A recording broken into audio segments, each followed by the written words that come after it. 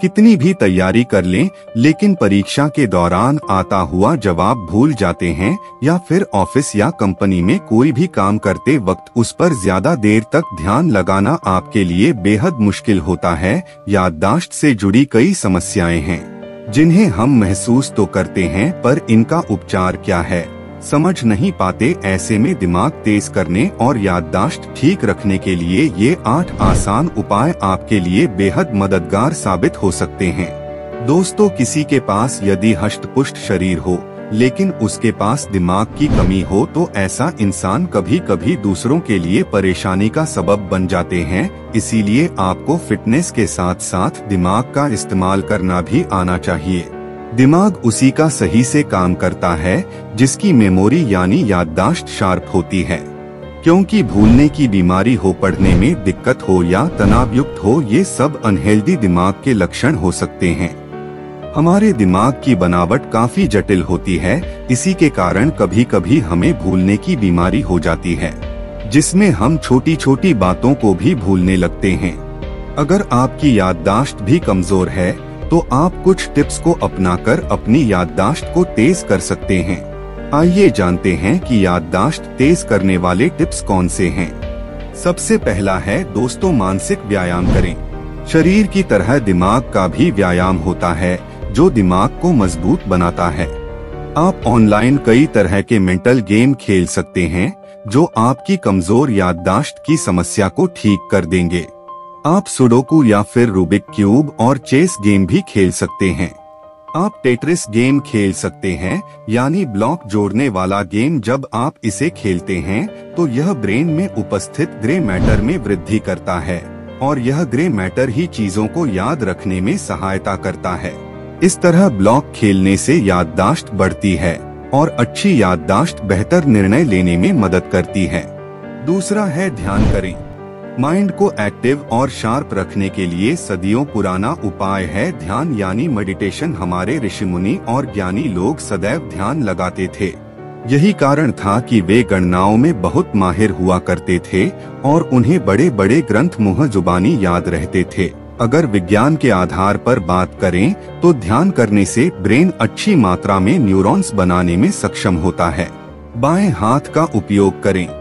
हम सभी अपने ज़्यादातर कामों को करने के लिए सीधे यानी दाएँ हाथ का उपयोग अधिक करते हैं।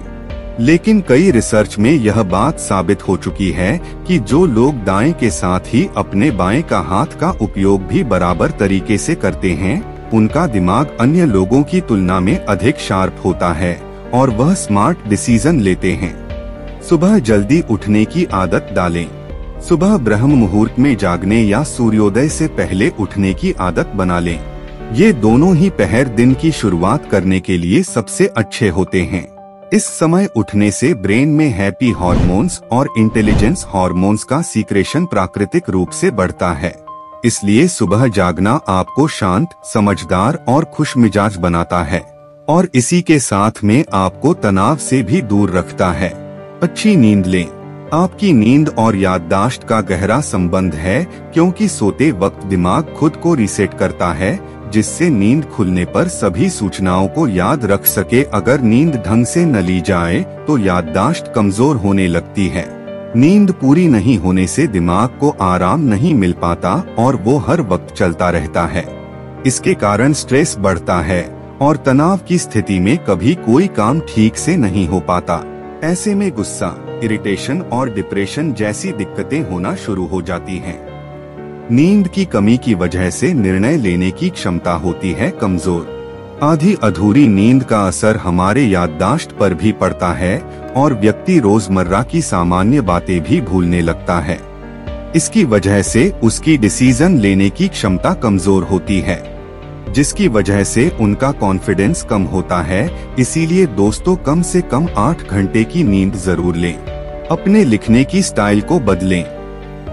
आप जो कुछ भी अखबारों या किताबों में पढ़ते हैं, उसमें महत्वपूर्ण लगने वाले तथ्यों के नोट्स बनाते वक्त ध्यान रखें कि उनकी लिखावट अलग हो, अक्षर थोड़े बड़े हों या अलग रंग की पेन से लिखे हों, इससे हमें ज़रूरी बातें लंबे समय तक याद रहती हैं। च्विंग गम का सहारा लीजिए। कई रिसर्च में यह साबित हो चुका है कि 20 से 30 मिनट तक च्वीइंग गम चबाने से हमारा दिमाग तेज काम करता है। अगर च्वीइंग गम आपको पसंद नहीं है तो बिना च्वीइंग गम खाते ही मुँह चलाने का अभ्यास भी उतना ही फ़ायदेमंद है। डूडल बनाएँ।